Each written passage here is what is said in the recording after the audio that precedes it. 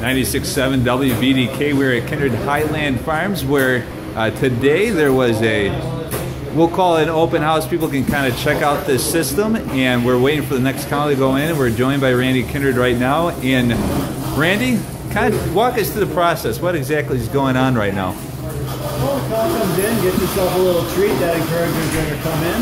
Um, first, the brushes clean off the teeth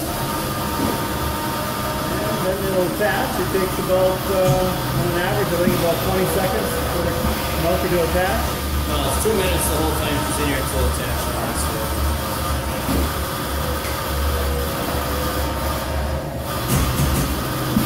Kind of getting everything, I guess, situated, making sure that it's ready for milking right now? Yeah, bleeding her off. And get a better vantage point from here.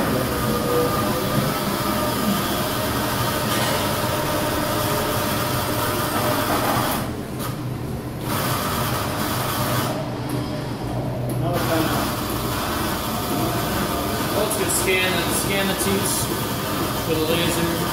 Should go right on.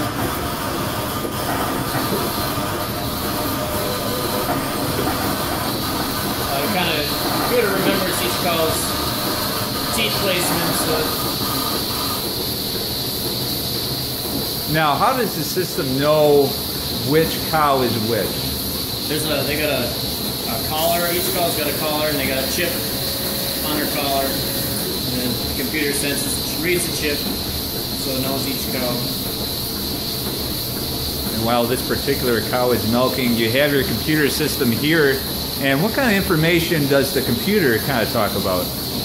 Well, it gives you, uh, the one quarter's got a high conductivity. It'll let you know which quarter. It uh, shows their milk production per visit, how long they're in there. Uh, they got uh, a heat detection on their collars, so if it causes heat activity, it'll, it'll know that they've been more active and it'll show up on the computer that they're in heat.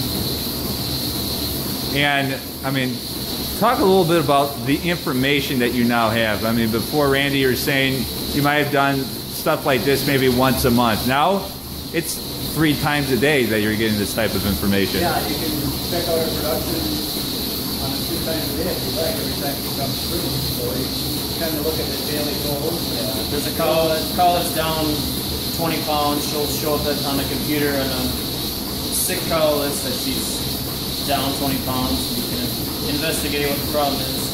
It takes the temperature of the milk. If she's got running a fever, it'll show up in her temperature, tension.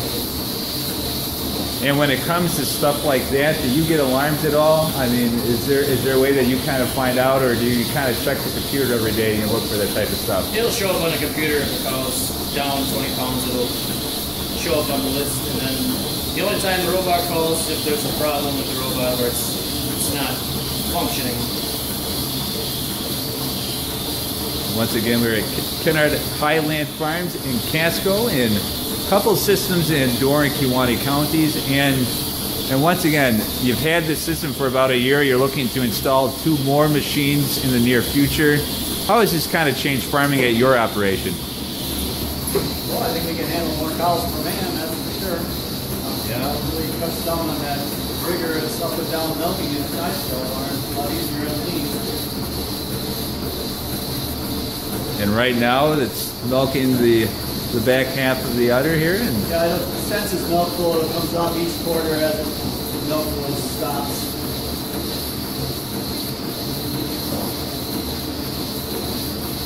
And I've heard it's actually better for cows to be milked three times a day. It helps improve those milk yields. Is that true? It's a little easier on their udder. Yeah.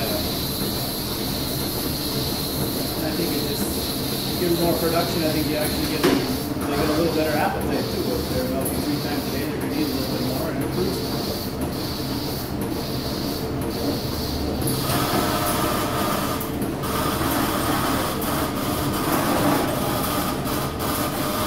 Spraying a pre-dip on the and actually uh, post-dip.